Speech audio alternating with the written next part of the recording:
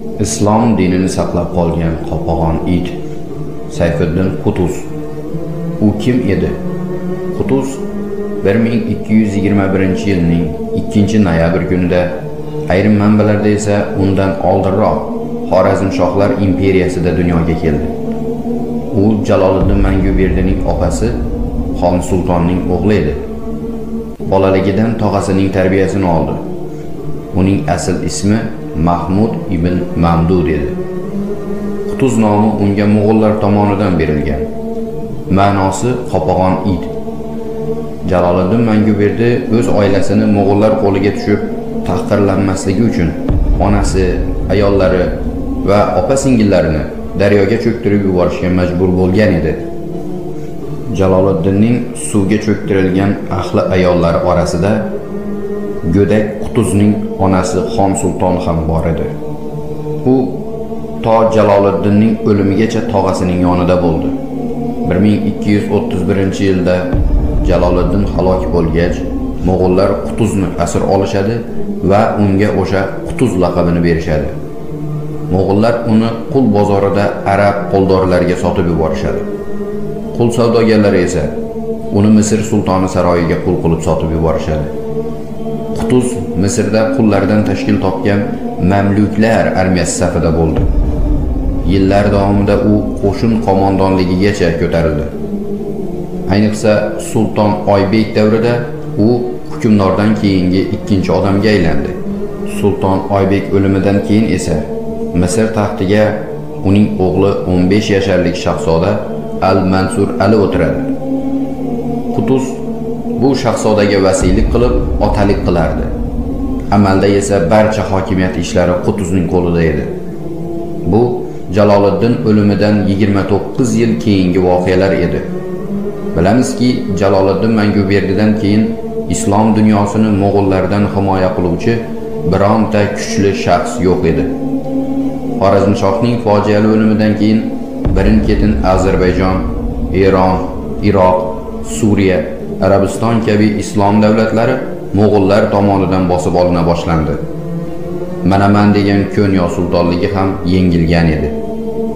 Endi mo'g'ullar oldida musulmonlarning birgina tayanchi bo'lgan misr sultonligi qolgan edi. Iroq va suriyadan kelayotgan vahimali xabarlar misr aholisini falaj holga keltirib qo'ygandi. Misrliklar mo'g'ullarga qarshi kurashga tayyorlanish o'rniga taslim bo'lib jon saqlab qolish uchun taraddud ko'rayotgan edilar. Chunki o'sha vaqtda mo'g'ullarni yajuj majujlar deb o'ylab ularni yengish mumkin emas deb barcha iso alayhissalomni kelishini kutar edilar. Faqat bittagina insonda mo'g'ullarni yengish mumkinligi to'g'risida tasavvur bor edi. Bu aynan qutuz edi. O'zining tog'asi jaloliddinning mo'g'ullar ustidan bir necha marotaba g'alaba qozonganini guvohi bo'lgan edi. Misrning go'dak sultoni al mansur ali hali 15 yoshida mo'g'ullarga qarshi musulmonlarni birlashtira olmas edi. Shunda qutuz barcha amaldorlar va amirlarni to'plab o'zini sulton deb e'lon qilishlarini so'radi. Mo'g'ullarni mag'lub etgach sultonlikdan voz kechishini maqsadi faqat va faqat mo'g'ullardan qasos olish ekanligini bildiradi. Mashvaratda amirlar bir ovozdan bunga rozi bo'lishadi. Chunki bu ilojsiz narsa emas edi. Qutuzning o'zi sultonlar oilasidan edi. Shunday qilib qutuz boshchiligidagi musulmon qo'shin falastin hududidagi ayni jalut maydonida mo'g'ullarning bir necha barobar ko'p bo'lgan qo'shinini kutib oladi. Qutuz juda ayyorlik bilan harbiy hiyla ishlatadi. Ayn jalut maydonining gir atrofi tog'lar bilan o'ralgan edi. U o'z armiyasining asosiy qismini aylana shaklda tog'larga yashiradi. Maydonning tashqari qismiga mo'g'ullarni chalg'itish uchun qishloqlardan bo'lgan sarkarda beybars boshchiligidagi qo'shinni joylashtiradi. Beybars qo'shini jang davomida ichkariga chekinib dushmanni chalg'itib o'ziga ergashtirib kelish kerak edi.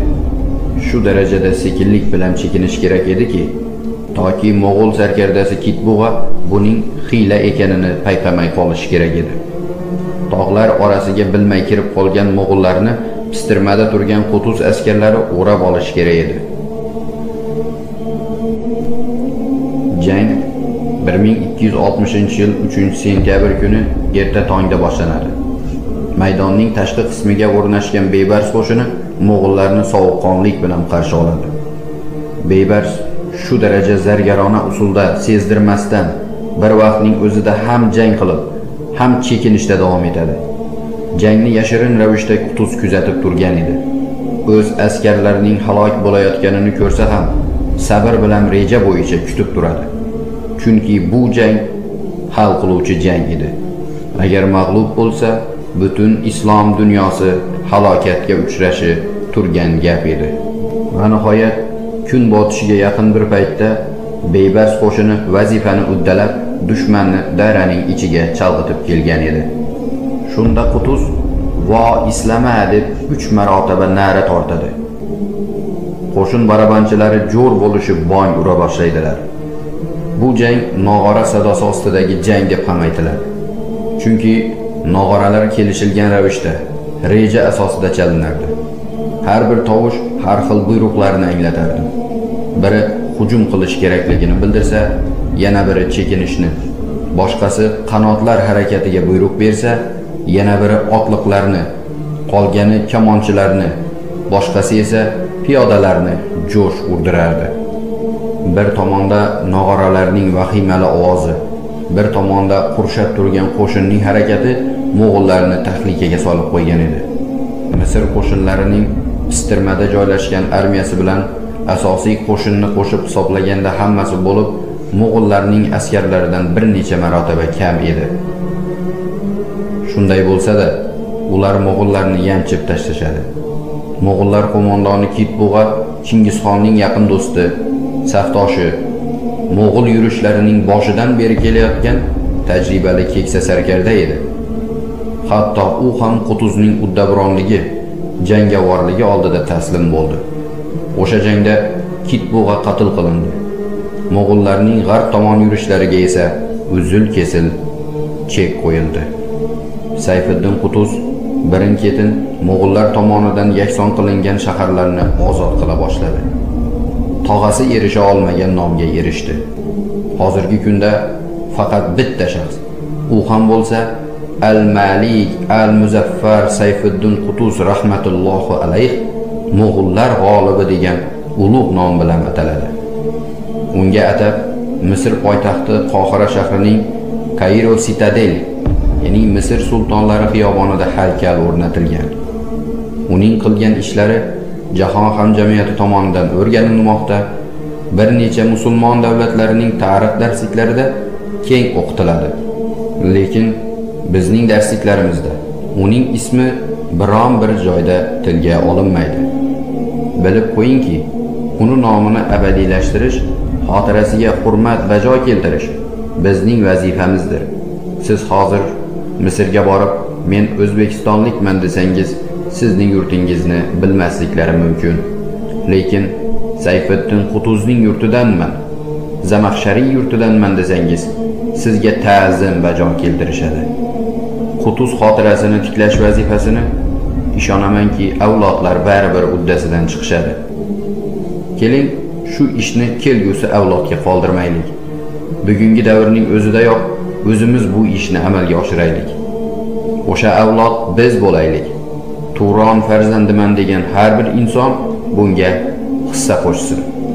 Zero o'zga yurtga borib sulton darajasiga yetishgan shaxslar tarixda deyarli uchramaydi.